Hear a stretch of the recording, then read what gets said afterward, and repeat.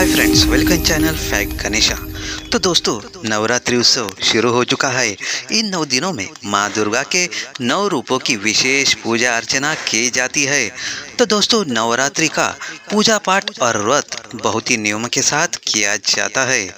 ऐसी मान्यता है कि नवरात्रि के दौरान कुछ चीज़ें घर लाई जाए तो माता रानी ज़रूर प्रसन्न होती है और भक्तों की सारी मनोकामनाएँ पूरी करती है। तो दोस्तों, आइए जानते हैं इस वीडियो के माध्यम से कि ऐसी कौन सी चीज़ें हैं जिसे घर लाने से माता खुश होती है और मन चाहे आशीर्वाद दे देती है। तो दोस्तों, ये वीडियो शुरू करने से पहले मेरे चैनल को सब्सक्राइब अवश्य करें और बेल आइकन प्रेस करके ऑल बटन पर क्लिक ज़रूर करें। तो चलो, शुरुआत करते हैं वीडियो से। तो दोस्तों नंबर एक पर आती है कमल पर, विराजमान माँ की तस्वीर। जी हाँ दोस्तों, आप घर में धन समृद्धि लाने के लिए नवरात्रि के दौरान देवी लक्ष्मी का ऐसा चित्र लाए, जिसमें वे कमल पर विराजमान हो। इसके साथ ही उनके हाथों से धन की वर्षा हो रही हो। कमल, देवी लक्ष्मी का प्रिय फूल है। नवरात्रि में कमल का फूल या उससे संबंधित चित्र घर से घर में लाकर आने से देवी लक्ष्मी की कृपा सदैव बनी रहती है।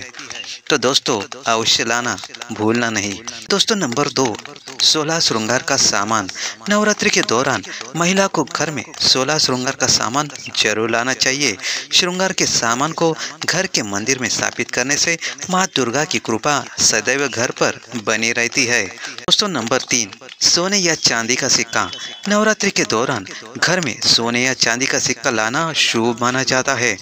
सिक्के पर माता लक्ष्मी या भगवान गणेश का चित्र बना हुआ हो तो और भी शुभ होता है। अपने पर्स में सोने या चांदी का सिक्का ज़रूर रखें। इससे आप पर माँ लक्ष्मी की कृपा हमेशा बनी रहेगी। दोस्तों, हमेशा याद रखें, पर्स में यह सिक्का ज़रूर रखें। तो दोस्तों, नंबर चार, मोर पंख शास्त्रों में मोर पंख को बहुत ही शुभ माना गया है। नवरात्रि में माँ सरस्वती का प्रिय मोर पंख घर में लाकर मंदिर में रखने से कई फ़ायदे होते हैं। मोरपंख विद्यार्थियों के कमरे में रखने से उन्हें विद्या की प्राप्ति होती है। लॉकर के पास मोरपंख रखने से आर्थिक स्थिति में सुधार आने लगता है। तो दोस्तों, मोरपंख नकारात्मक ऊर्जा भी बचाता है, यानी कि घर में पॉजिटिव एनर्जी लाता है। तो दोस्तों, ध्यान रखें कि मोरपंख अवश्य लाए। तो दोस्तों, नंबर पाँच, केले का पौधा। नवरात्रि में केले के पौधे को घर में लाना चाहिए। इसे घर के आँगन में लगाए और पूजा करने के बाद इस रोज़ाना जल चढ़ाए। गुरुवार के दिन इस पर दूध भी चढ़ाना चाहिए। ऐसा करने से घर में पैसों की दिक्कत नहीं रहती है।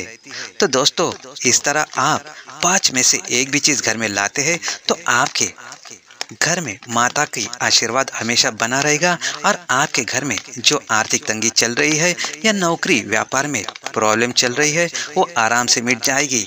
तो दोस्तों, आपको वीडियो कैसा लगा? अच्छा लगा हो तो लाइक शेयर और कमेंट ज़रूर कीजिएगा और कमेंट बॉक्स में जय माता दी अवश्य लिखेगा। धन्यवाद।